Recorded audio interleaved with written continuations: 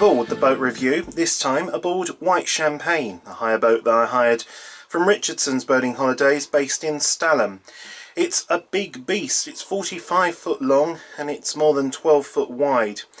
And if you recognise these types of boats, Acapulco, Challenger, White Champagne, Pink Champagne, they are usually, uh, sadly, associated with boisterous weekends full of lads. But I think they should be more associated with just family enjoyment because these are so spacious and they really were back in the day, back in the early sort of 90s and late 80s, these were like the Commodores, the Brinks Rhapsodies, the Broadsmans of their time.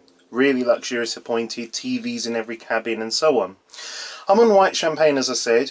Now, I've been away for the weekend for my mum's 70th birthday celebration, so there hasn't been a blog, and this is a quick walkthrough review, so it's not going to be quite as good as some of the others, and there's going to be, you know, the beds have just been um, unmade and so on and so forth. We're actually at Richardson's for the handback now and I've got 15 minutes to do this review in. It's pouring with rain outside.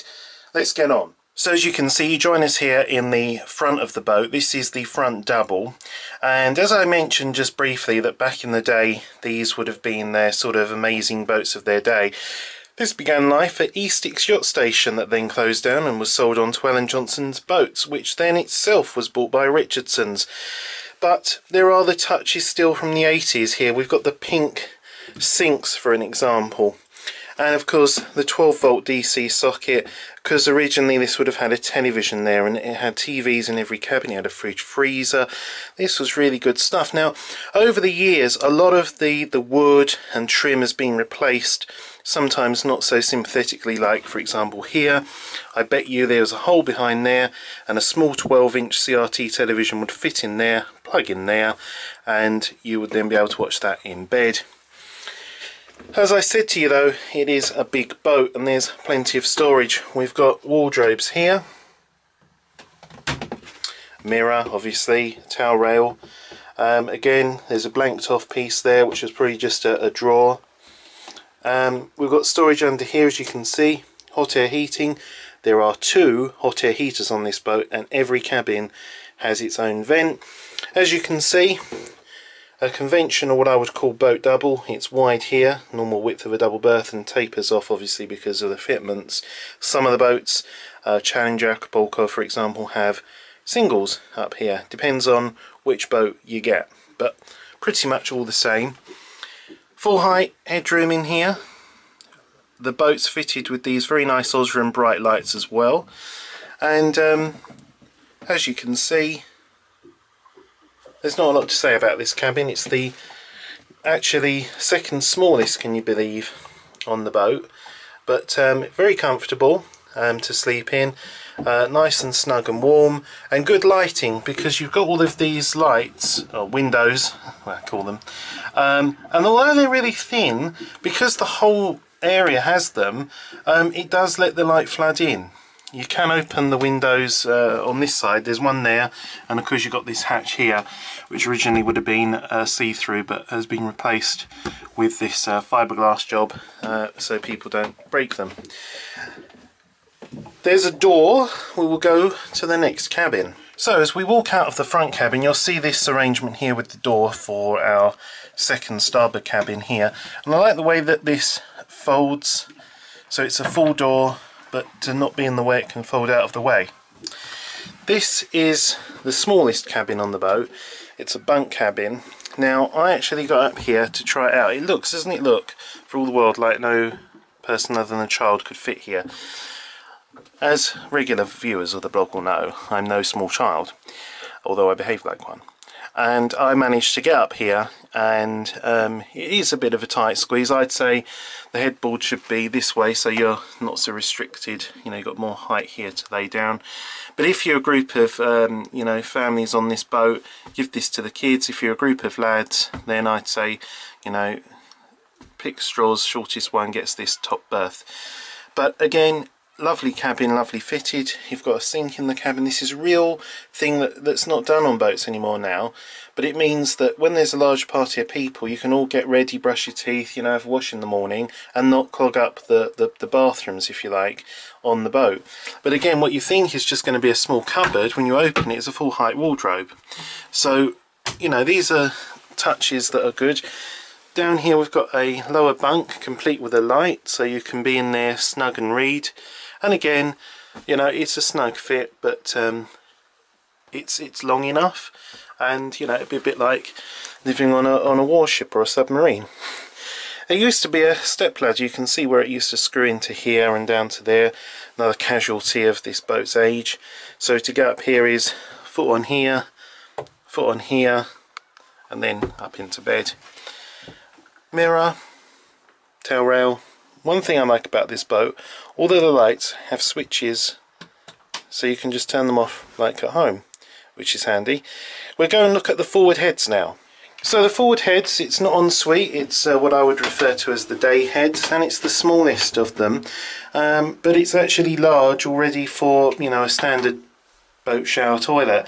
You've got the normal pump out kind of toilet with the, the lever and the valve.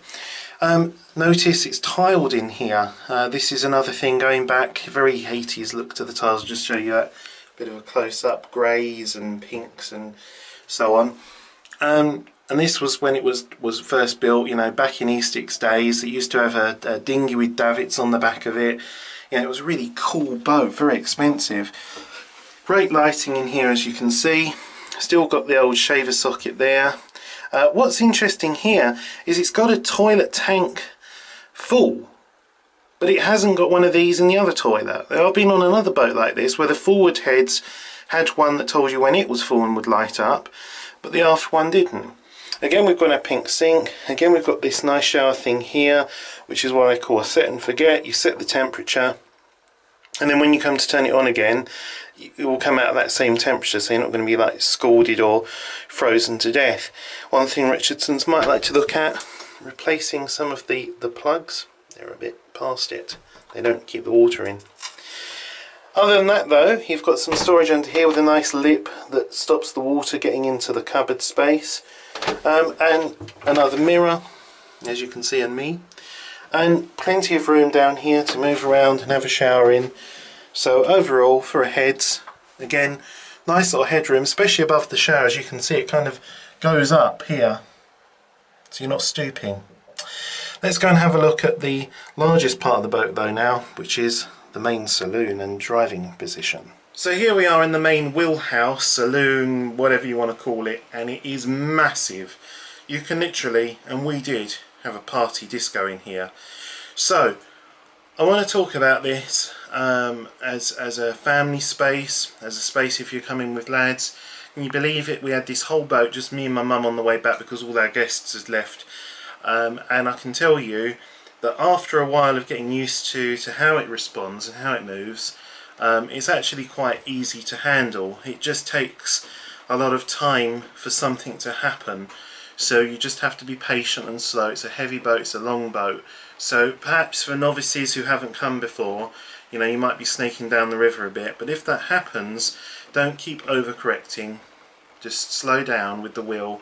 There's many turns lock to lock on this boat um, and it'll be fine. So just a little tip there.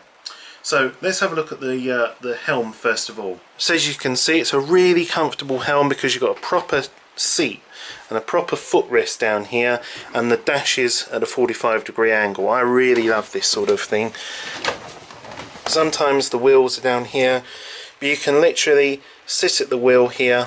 We've got our automatic windscreen wipers which don't work unless the ignition's on but they work really well as you can see I'll just turn that off um, and you've got this really good view. Now you're very far forward of the boat at this point. You've probably got about I don't know 30 foot of boat 35 foot of boat behind you. But you've got this amazing vista out of all of the windows and these are huge windows. You've also got two heaters forward and centre and aft and centre You've got port and starboard wipers, bilge pump, water pump and a horn. I believe this is the original engine in here. It looks like it's had a few repaints over its time and you know bits of it aren't looking in the best of, of conditions. But look at this 14,879.6 hours. It does get a bit hot um, over 2000 rpm um, that's not because I don't think the impeller's worn or anything. I just think the heat exchanger needs to be descaled. So do watch that uh, long runs for example if you're going to be heading down south you know keep it under 2000 rpm and you'll be good. Um, so really this boat against the tide perhaps not not going to make such good headway but with the tide or a slack water about 1800 rpm 6 mile an hour anyway. So great views. Now I did say that we're taking this boat back today so I apologise that there are some bits left out and stuff but let's just see, see mum and bless her she's leaving a note to the cleaners to get some free wine in the fridge and beer and some stuff. But here's your your galley. Now look at this I'm just walking around like I'm in a house you know? Just like go for a little walk around here and off down here. You know it's it's huge. There's your two heater outlets here. So in the saloon you've actually got two main heater outlets. You've got this lovely seating here. You've got the sink over here as you can see that storage space, your crockery and glass is under there. Now, because in the original day this would have been a gas operated fridge and freezer, there's still the flue that goes up and the huge vents that would have needed at the back of it. But now we've got quite a decent sized Waeco fridge, a small little baby 15 inch flat screen TV and a separate DVD, 12 volt um, accessory socket and another 12 volt for when this used to have um, the 3 pin, um, 3 amp plugs. To operate all of this, you would simply turn this inverter on here. That just operates this. You see the red lights have come on, both of them.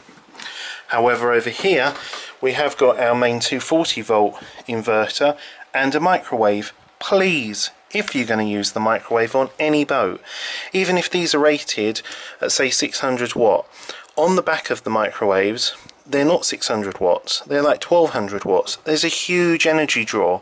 Run the engine about 1200 rpm when you're using the microwave to avoid running down your batteries. And it makes life easier for hirers coming after you because then they don't have to call engineers out for batteries that have been knackered. There is a stereo radio CD six bottle wine storage. Again you've got storage to put stuff in here. There's nice drawers. You know there's so much space normal vignette oven hob situation going on here. Again look at this. Really nice quality cutlery even on one of these boats and all really sharp knives nice frying pan non-stick can you believe? Folding table but it's not just a normal one you get on most boats. This table covers this entire area. It's a huge folding table. Plus you've got your additional stools so everybody can sit around the table and we certainly did. Big sliding roof. Lots of lovely lights. Again controlled by a switch which is really cool and you can see they come on here but they are also individually switched so if you don't want to keep bending down for the switch you can just do that. Old they may be, but quality. Four speaker stereo system. Most boats only have two as you know. So again, it's really good for the tunes in here. So for socialising, going along, eating, sitting, this is the best saloon on any boat I've ever seen. And I've got to say, I know I'm an owner of uh, Broad Ambition now, but this boat, oh, I would love to own one of these. I wouldn't keep it in this way. I would I would lose a lot of the cabin space and open up things and just have it as a four berth. But this boat has such potential to be something quite fabulous as a liveaboard and long-term you know boat. The hull is about that thick. Um, you know with a decent engine in here 100 150 horsepower engine down the coast you go. No worries there. Let's move on because there's a hell of a lot more to fit into this uh, short review. We'll head off down here, there's two more cabins and another heads. So as we move down here, there is a, another wardrobe here because the saloon does make up into a double berth, you've got your cleaning products in there as well. In here, and this is what I mean about space. Now you know when you go on say you know a bathtub boat and they have the double berth like this. This is a single that pulls out to make a double and then you've got a single up here. So what an ideal little family room. You can have mum and dad here and little Bobby up here kind of thing. It really works. Or if you're sharing with friends and stuff, you know, there's so many options with sleeping arrangements. But look, you've got all the shelving here. You've got a full height wardrobe there. And another sink, cupboard, and space to put your towels and a mirror and the lights. The full height. It's amazing. I just can't get over it because when I had sort of, you know, your typical bathtub Salino or Salerno, I think it was. Um, but things like gold gem, clear gem, amber gem, they have the double across here. And outside there, on those boats, is the galley. Okay, and if you've hired one of these boats, you'll know that your feet have to go under the freeboard, and in the galley space, there's very little space to squeeze past.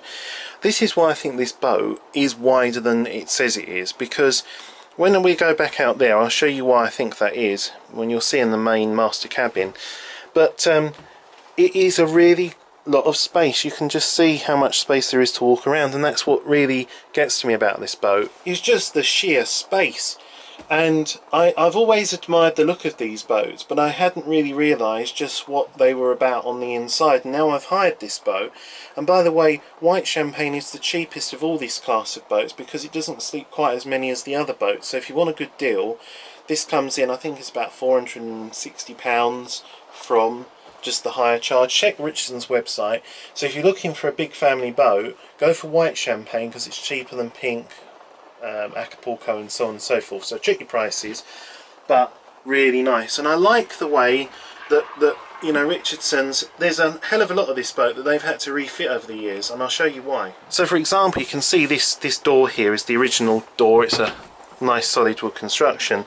But then over here, this isn't real wood, but um, this has all been renewed and then we've got the the original here. So it's no small thing you know repaneling a boat and and doing this but it keeps it nice and fresh. They've put this nice grey lino down instead of the Flotex carpet that would get all grubby and dirty but it's nice that it's a neutral colour and it's not one of these like bright red or orange linos. It's also been fitted really well and doesn't bubble up. So as we move out of that uh, mid cabin this here is not a very narrow space. This is our centre corridor. And you think, well, surely what's off over here must be really tiny. You know, no. Look, this is what I would call as the main heads. Okay, and it just is huge. This is the shower tray. Look at it. It is a two-person shower on a boat. Let's come in here. There's the toilets again, it's the same pump out action one, but no warning if this is full or not. Again, we've got some tiles here. Not sure what's going on in this sort of Romanesque scene. There should be sort of a damsel just draping herself over somewhere, but there isn't. But as you can tell, it's a really nice space. And um, I think it's amazing that, that this boat continues to provide so much sort of practical accommodation when you've got all the cabins and then instead of having a tiny weeny little heads crammed in somewhere again you've got your sink here practical white not a pink one this time. Really good shower lovely in here. I certainly had this as my shower. And as you can see there's another door there which can mean only one thing. This is an ensuite for the cabin that I had which frankly ladies and gentlemen is just simply enormous. We come through here and it's the full width of the boat. Now on other boats this is divided between a, a shower room and, and a bed. Full width double bed here, it doesn't taper off. There is also a single across here but we just use that as, as seating.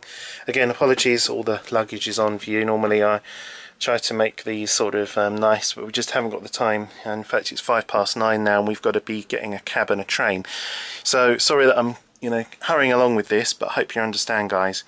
But this here is what I would say is the most magnificent cabin I've ever seen on a boat. Um, yes, it's not as nice as, say, you know, a Commodore Rhapsody, um, as far as, you know, the fitments go and the, the general salubriness of the place. But for sheer height, space and everything you need in here, again, you've got the sink here, and you might think, well, why do you need sinks in the cabins? Do you know what? Sheila came up with me for a night and you know we had sort of six people on here. And it really is handy just to get up. Sheila's in there having a shower. I'm here brushing my teeth. We can all get along you know. And this boat has got a accumulator for the water. It's not just the pump comes on and supplies water.